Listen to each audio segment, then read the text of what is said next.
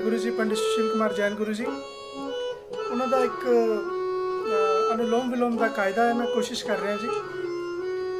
ਤੇ ਉਹ ਕਾਇਦਾ ਤਿੰਨ ਤਾਲ ਦਾ ਹੈ, ਮੈਂ ਰੂਪਕ ਤਾਲ 'ਚ ਕੋਸ਼ਿਸ਼ ਕਰ ਰਿਹਾ ਜੀ ਉਸ ਨੂੰ ਵਜਾਉਣ ਦੀ। ਸੋ ਕੋਸ਼ਿਸ਼ ਹੈ ਜੀ।